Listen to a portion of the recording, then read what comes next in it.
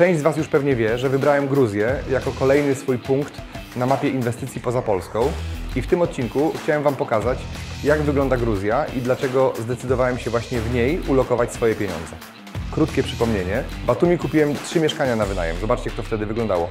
Cześć, jesteśmy w nowej inwestycji przy samym bulwarze i ulicy Lecha i Marek Kaczyńskich. Budynek ma 16 pięter i tam na dachu jest gdzieś basen, który zaraz zobaczymy. I chcę obejrzeć to mieszkanie, bo one są już wytynkowane, mają okna. Zobaczymy jak to wygląda. Ceny tych mieszkań zaczynają się od 1,5 tysiąca dolarów i kończą na 2,5 tysiąca dolarów za metr kwadratowy. Gotowych mieszkań wykończonych razem z meblami, także wchodzisz i mieszkasz. Chodźcie zobaczymy jak to wygląda.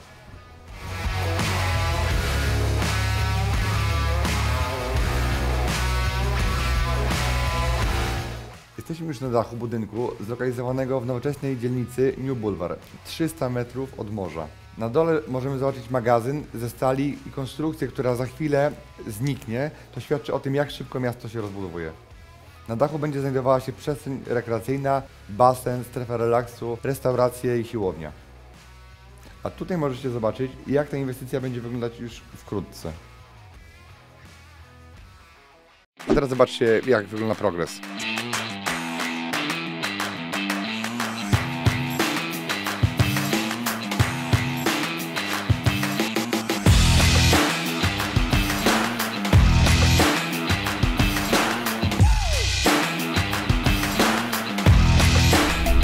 Za granicą część swojego kapitału właśnie po to, żeby go zdywersyfikować, żeby mieć po prostu nie wszystkie jajka w jednym koszyku, czyli nie cały majątek w jednym kraju, w kraju urodzenia i w kraju zamieszkania. Gruzja jest położona na granicy Europy i Azji.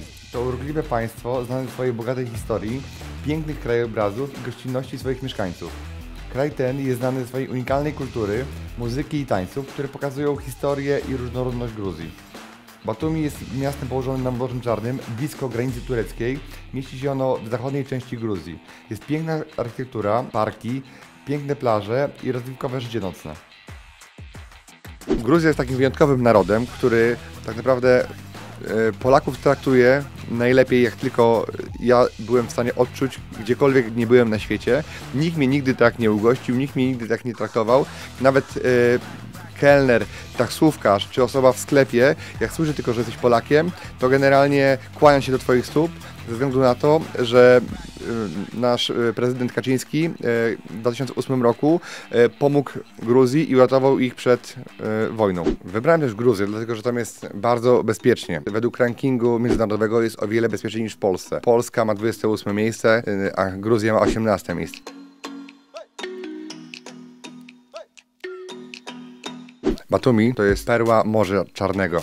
To właśnie tu kupiłem swoje mieszkanie i ona jest właśnie bardzo popularna wśród turystów, ale też i Polaków. Polacy tutaj nie tylko wypoczywają, ale też i inwestują. Niektórzy prowadzą swoje firmy. Gruzja to jest też taki hub dla przedsiębiorców, ponieważ mają dobre e, kontrakty z Chinami i dzięki temu mogą eksportować swoje towary na rynki w całej Europie z niskimi podatkami. W Gruzji bardzo łatwo jest uzyskać kredyt hipoteczny na zakup nieruchomości. Z tego względu, że to właśnie deweloper gwarantuje, że ta inwestycja e, powstanie i w razie gdyby klient przestał ją spłacać, generalnie mają o wiele łatwiejszy proces odzyskiwania tej nieruchomości, dlatego bank ma dużo mniejsze ryzyko i cały proces trwa tylko jeden albo dwa dni robocze. Taka nieruchomość jest dostępna nawet dla kogoś, kto jest początkującym inwestorem, albo też nieważne, czy w Polsce ma coś w biku, czy nie ma, tam w Gruzji ma czyste konto i może dostać kredyt na dobrych warunkach. Wystarczy być pełnoletnim, mieć paszport i pieniądze na wkład własny.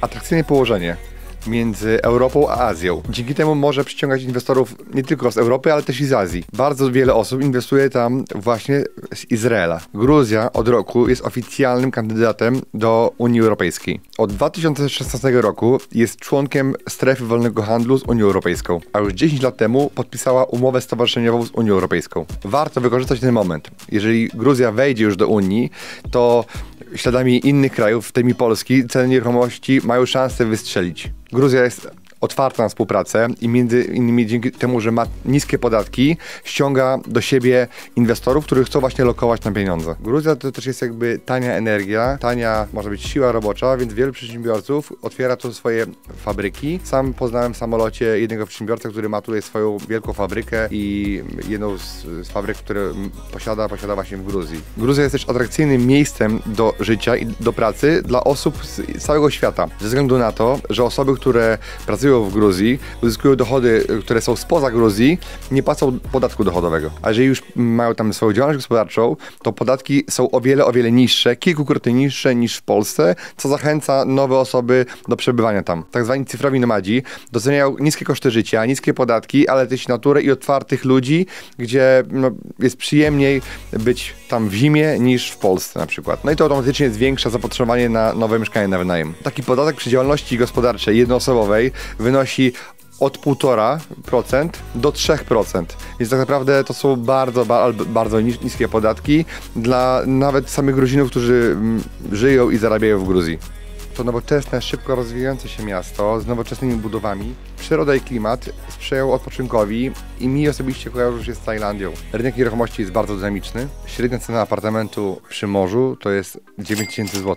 Mówimy tutaj o gotowym, wyposażonym apartamencie w standardzie premium. Podczas gdy za stan deweloperski w innych dzielnicach możemy już zapłacić od 6500 zł za metr. Mówimy tutaj o budynkach, które mają w sobie restauracje oraz baseny. Nijak nie da się tego porównać do inwestycji w Polsce, gdzie sezon jest krótszy i ceny są 2-3 razy większe, proporcjonalnie do ceny zakupu mieszkania. Dlatego zyski z wynajmu są dużo bardziej atrakcyjne dla inwestora. Wysoka rentowność wynajmu jest dobrym argumentem do zakupu tu nieruchomości, tu właśnie w Batumi. Sezon wynajmu tu trwa o wiele, o wiele dłużej niż w Polsce, bo około 300 dni.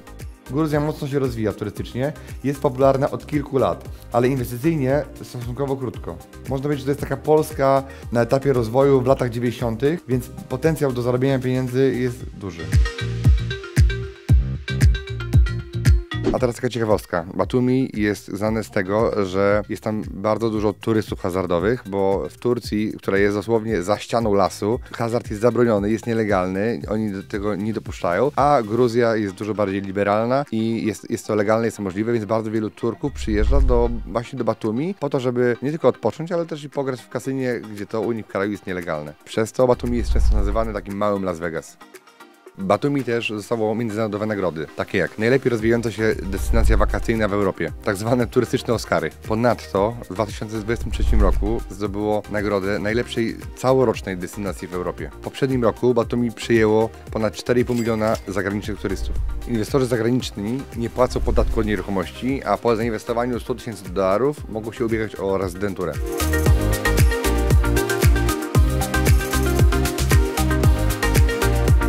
Żeby przyjechać do Gruzji nie musi mieć paszportu. Wystarczy dowód osobisty. Mimo tego, że Gruzja nie jest jeszcze członkiem Unii Europejskiej, ale ma umowę o bezwizowym ruchu z innymi krajami. To bardzo ułatwia nie tylko podróżowanie, ale i przebywanie w kraju, nie tylko turystom, ale i inwestorom. Wiele osób mnie pyta o inwestowanie w nieruchomości za granicą. Wiesz dobrze, że ja inwestuję za granicą, dlatego postanowiłem też e, pokazać Wam, jak ja to robię. Czyli zapraszam Was na trip inwestycyjny do Gruzji, gdzie będzie można zobaczyć ofertę różnych deweloperów w Gruzji. Robię czterodniowy trip, gdzie pokażę różne inwestycje różnych de- deweloperów. Będzie można sobie założyć konto w banku. Ja sam takie konto założyłem sobie. Tam na miejscu będziemy mieli dwie takie uroczyste kolacje e, w takim e, typowo gruzińskim klimacie. Będziemy mieli też e, łódkę bądź wycieczkę w górę w zależności od pogody. No i będzie konferencja, na której będą osoby, które optymalizują podatki w biznesie, ale też i będzie minister ekonomii i mówił o współpracy e, polskiej i gruzińskiej. Także jeżeli myślisz o tym, żeby inwestować też w Gruzji albo się tak jak ja dywersyfikować, to może warto przyjechać i e, zobaczyć Gruzję do, i też dobrze się pobawić. Jeżeli myślisz o tym poważnie, to czasu już zostało mało i miejsc zostało dosłownie kilka, także w linku poniżej masz wszystkie informacje i widzimy Cię w Gruzji.